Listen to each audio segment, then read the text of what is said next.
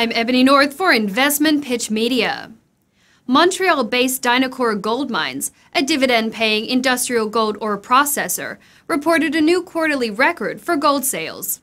Unaudited sales of gold for the third quarter ended in September 30, 2021, came in at $61.9 million US, an increase of $37.8 million US or 157% over the $24.1 million US reported for the third quarter, ended in September 30, 2020.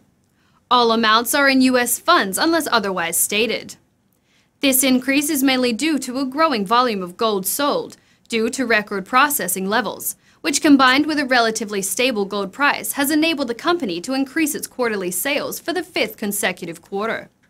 Given that production for the third quarter of 2020 was reduced following the three month shutdown due to the COVID 19 crisis, the current quarter is still up $19.1 million, or 45%, when compared to the $42.8 million reported for the previous quarter ending in June 30, 2021, which was also a record. Net income for the current quarter was $3.5 million, compared to the $2.2 million for the previous quarter and $1.2 million for the third quarter in 2020. The current quarter was the first quarter with the Veta Dorada plant running at its new capacity of 430 tons per day, following its expansion. This is an increase in throughput of 25% above the previous 345 tons per day capacity.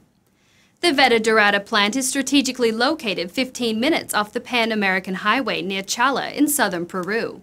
Ore purchasing and processing continued to be very strong in the third quarter, with 40,000 tons supplied by artisanal miners, another record, and more than 36,000 tons processed. Since the beginning of 2021, Dynacor has attracted ore in excess of its increased throughput capacity, ensuring a continuous increase in ore inventory which now sits at more than 14,000 tons, representing more than one month of production. This will enable Dynacor to continue running at full capacity until the year end and into the first quarter of 2022. Following this unprecedented productive quarter, the company is on its way to a historic annual production of more than 100,000 gold equivalent ounces for 2021. In September, the company announced revised financial guidance with projected sales of between 185 and 190 million dollars and net income ranging from 9 to 9.5 million dollars for 2021. Assuming the average price for gold remains around $1,785 US per ounce, and the company continues to receive a consistent average grade of ore. It also assumes a stable exchange rate between the Peruvian sol and the US and Canadian dollars, with the US Canadian exchange rate averaging $1 US to $1.25 Canadian.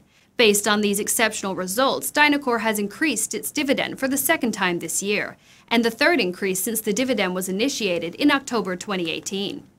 The monthly dividend will increase from 67 cents Canadian to 83 cents Canadian, or from 8 cents to 10 cents on an annual basis, a 25% increase. Dynacor, a founding partner in the PX Impact Gold program, produces environmental and socially responsive gold. A growing number of supportive firms from the fine luxury jewelry, watchmakers, and investment sectors pay a small premium for this gold, which provides direct investment to develop health and education projects for the artisanal and small-scale miners communities. With decades of experience in Peru, consistently operating and exporting gold since 1998, the company intends to expand its processing operations to other jurisdictions. The company also owns the advanced stage Tumipampa gold exploration property in south central Peru's Apurimac department.